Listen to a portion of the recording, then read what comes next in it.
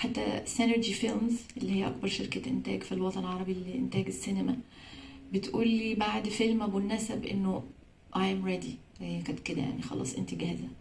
هو دي حاجة المنتج بيحسها. وبعدين أنا كممثلة أنا تلميذة جدا. يعني المنتج هو اللي يشوف ويقرر آه، المخرج هو اللي يقرر الحاجات. يعني أنا ما بزقش في حاجة مش في أوانها.